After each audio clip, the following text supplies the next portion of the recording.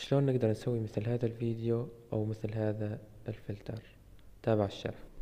أول شي راح ننزل هذا التطبيق هو فوتو ليب راح أحط الرابط بأول تعليق مثبت. بعدين راح ندخل على الصور خاصة بينا طبعا بالجهاز وراح نختار صورتين. مثلا نختار صورة السيارة بعدين نختار على الفلاتر بالزاوية وراح يطلع لك عدة فلاتر منها مجانية ومنها مدفوعة. راح تشوف بهذا الشكل راح يحول السيارة لهذا الشكل وبعدة أشكال يعني تقدر تستعمل أي شكل بس نحن راح نحكي عن هذا التصميم. بعدين راح نحفظ الصورة وبعدها راح نخرج وننتقل على تيك توك على أي مقطع نحن مستخدمينه.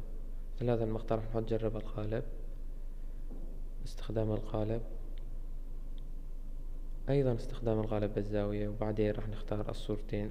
الصورة العادية والصورة اللي نحن فلترناها. أول شي نختار الصورة اللي فلترناها بعدين نختار الصورة العادية بعدين نحط معاينة بعدين راح يطلع بهذا الشكل الفيديو.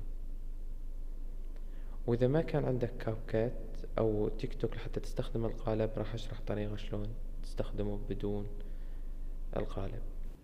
أول شي راح ندخل تطبيق كاب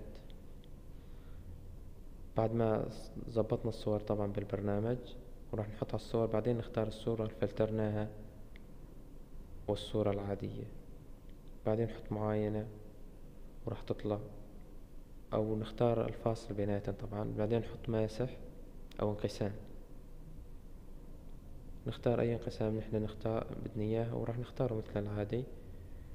وراح يطلع بهذا الشكل. بس نحن راح نزود الثواني طبعا للفلتر. للانقسام نخليها ثلاث ثواني وراح يطلع بهذا الشكل. وهذا الفلتر مثل ما شفتم قدامكم. إن شاء الله يكون عجبكم الفيديو واستفدتم منه. شكرا.